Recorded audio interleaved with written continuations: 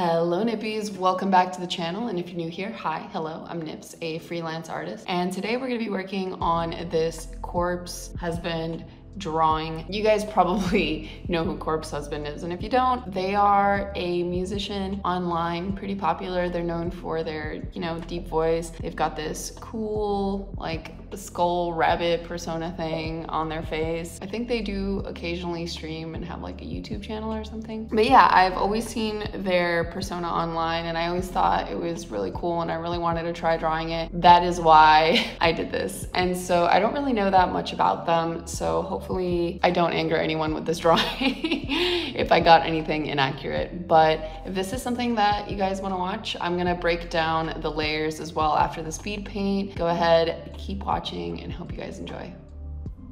All right, so I'm gonna go ahead and go over the speed paint. Now, the problem with this one is that the camera angle and the lighting looks really washed out and glary on this. So what I'm gonna do is put it over there on the side so you guys can see both at the same time. So I'm gonna go ahead and start up the speed paint now. Time lapse replay. Now, the first thing that I did was get a corpse husband to um, reference and and when I first started this sketch, ideally I wanted to actually draw a corpse waifu. Now, not necessarily a gender bend, but just like an alternate version of corpse, do like a, my idea of a corpse waifu. And um, I don't know, I just decided to change it because I wasn't entirely sure on if that was gonna be problematic or not. So I decided to just kind of put it on the side, but let me know what you think down below because I still really want to do a corpse waifu. I think it'd be a cool idea. Now, I feel like this pose is pretty basic for what I wanted. I wanted something a little bit more like fish eye lens and more in your face and dynamic, but it ended up being kind of plain and it just looks like a very basic far away shot, which there's nothing wrong with, but I think when I say these things, when I say like basic and like simple and like not dynamic, I'm more so speaking of like the comparison of like how it would have looked if it had executed like I thought about it in my head. So yeah, so I wanted something a little bit more interactive where you felt like you you were inside the drawing and it just kind of did not come out that way. I had a lot of fun drawing his, um, I had to go on, on TikTok to go check some of his rings. He has like these like skeleton rings there and I didn't chip his, his nails, which I totally forgot to do. I decided to just make these up here. I gave him some chains. I found some bracelets on, on TikTok and stuff.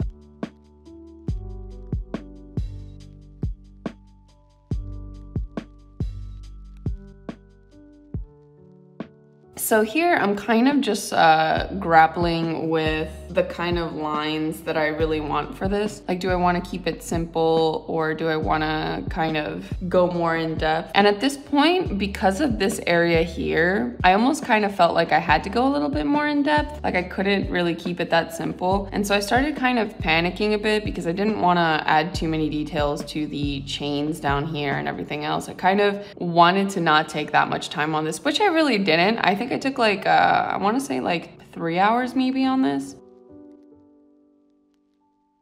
So I tried to like scribble in some chains as opposed to adding too much detail. I added in the bracelet, the other rings. Now this back um, the colors in the back were just like a, a color sample because I wanted to see what it would look like beforehand. I was having trouble doing the lines and so I created some silhouettes with the color. And originally I wanted to do this like orange like sun thing because the space was a little bit dead. And I honestly, I like I took it out and I ended up not doing anything with it. But I also originally this was gonna have backlighting as opposed to lighting from the top. But I always do backlighting and I think for this one it was gonna be fun to do like the shadow over his eyes. And so I decided to just go with uh, top lighting instead. I went with a really brushy, kind of uh, strokey brush for the highlights. And that was, that was really fun. I actually really like how that looks. I was kind of struggling with this to make it look finished. I felt like it was just too basic. Like I, I didn't know how to finish this drawing. Um, so I just kind of kept doing things to it, just adding highlights, adding overlays and um, funky layer effects, changing up the brushes. I honestly was kind of at a loss for how to proceed with this drawing. I added some background lighting and I made it choppy. I was gonna add a glitch and that didn't really look quite right. So I took that off, but in the end, it kind of turned out pretty cool. It did really well on Twitter, so thank you for that. I really do appreciate everyone that liked and shared it. Yeah, so that's pretty much the process. Maybe I'll go over all the layers and kind of the arrangement and everything in a sec. Yeah, so I'm actually going to go through the layers really quick. So this piece is a pretty good example of what I do for my sketches, just like fast um, doodles. And so I figured I'd go through all the steps. So I'm gonna go ahead and hide everything that isn't the background. I don't know if it's because it's visible. I'm not allowed to do that. So if you press, if you just leave it pressed, it'll hide everything. There we go. So I'm gonna start off with the sketch. So the first sketches that I did, so this is the first sketch. This is when I was starting to think about corpse waifu. And then I just immediately discarded the idea and then went with uh, this one. Now it's really, really, really messy as you can see but the idea is there. Usually when I do my sketches, a lot of the times, not only do they look messy, they don't look how the finished product is going to look. It's more so for me, I need a good indication of like composition and like layers and dimension. I think that's like my, my biggest thing when I do sketches is I need to know where things are gonna be, how they're gonna flow, and what space they're gonna take on the page, which is kind of like composition, but kind of like, I don't know, like space in the sense of like dimension, which I'm not very good at, but I need it. And so this was a pretty good indicator for me. I had this um, other sketch, I think. Yeah, so this, I, I, had this other sketch up here too to kind of fix the, the bottom sketch. So sometimes I'll have multiple sketch layers. Um, those of you that have seen me stream, you guys know I'll have S, S1, S2, and I'll name it like that consecutively on the iPad if I'm doodling like this, I really don't name them, but it's the same concept where I'll have like multiple sketch layers and I'll like continue to fix them one on top of the other until I get something that I'm pretty much comfortable with. And so then we're gonna make quite a big jump here into the line art right here. There we go. So we've come up with our finished line art here. Now, before I did this, actually, I should probably show you that I did um, a color sample right here. So I had originally done something like this to better understand where I wanted things to go. I usually will set the sketch layer to multiply so I can do this so that it doesn't look all blue like that or whatever color I'm using in the moment. So I did this to kind of just see how it would look if I were to actually fill it in because sometimes the sketch doesn't always convince me or I don't know where to put certain shapes so I just do silhouettes, color silhouettes instead. That's pretty much what that is. And then once I felt comfortable with that, then I went ahead and did the lines.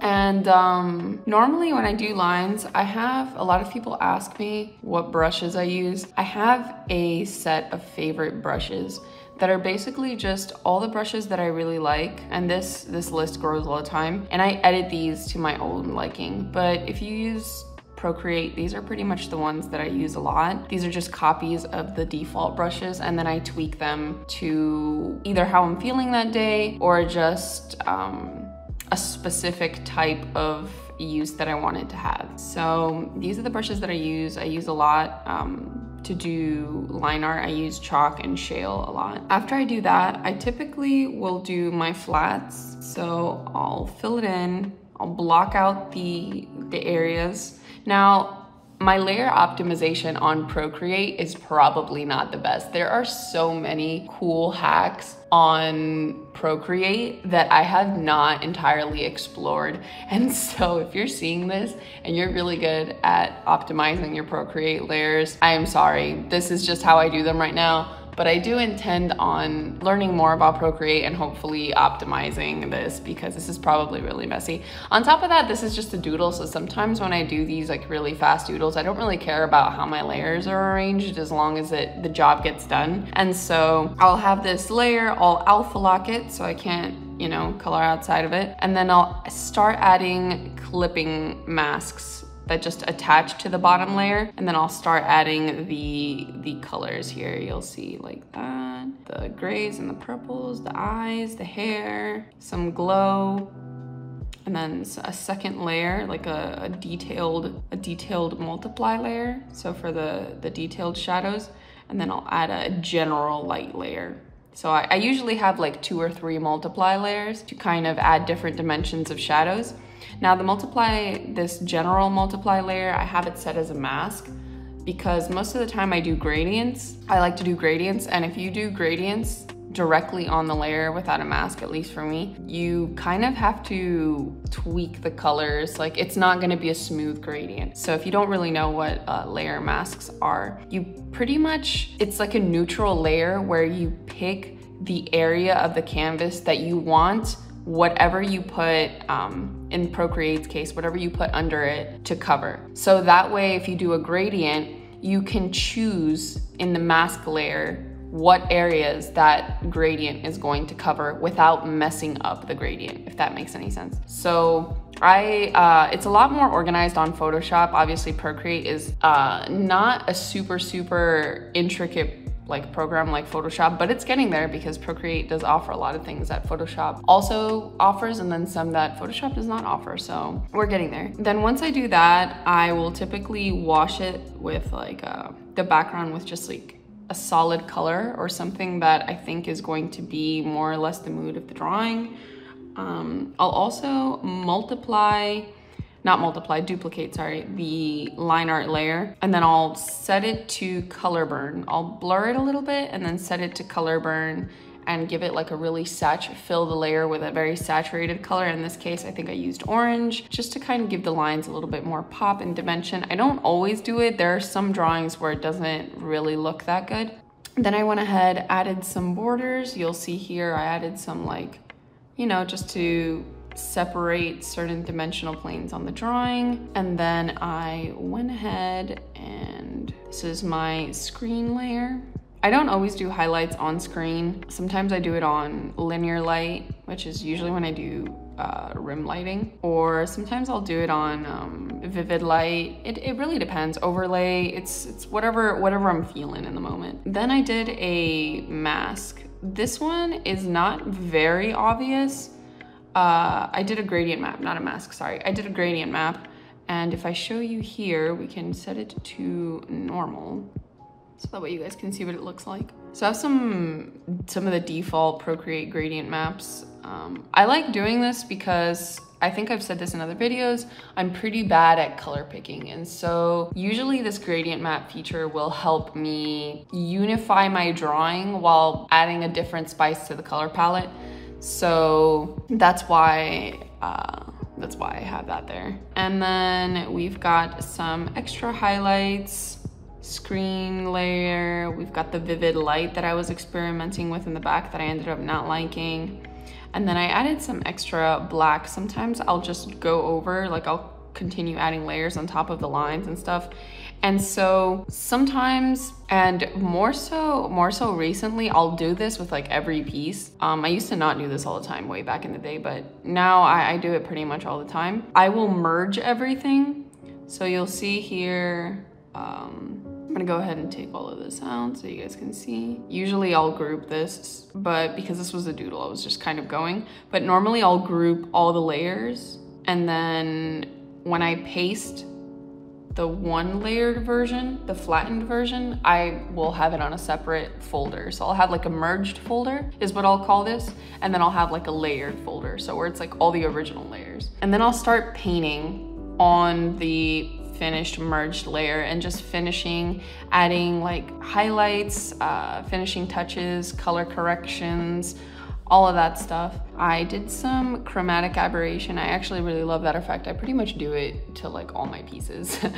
um, so yeah, you just go here. I duplicate the layer. I go here, go to chromatic aberration, and it gives us like really cool kind of like neon 3D glitchy effect if you tweak it right.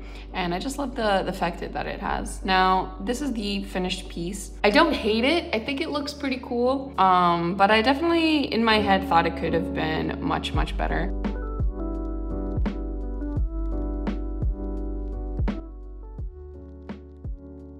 Right, thank you guys so much for watching. Hopefully you guys enjoyed that video. Let me know what you guys thought in the comment section down below. Like, subscribe, join the Nippy family. Go ahead and follow me everywhere on socials, Instagram, Twitter, TikTok, Twitch, at Art by Nips. And hopefully I will see you guys next video.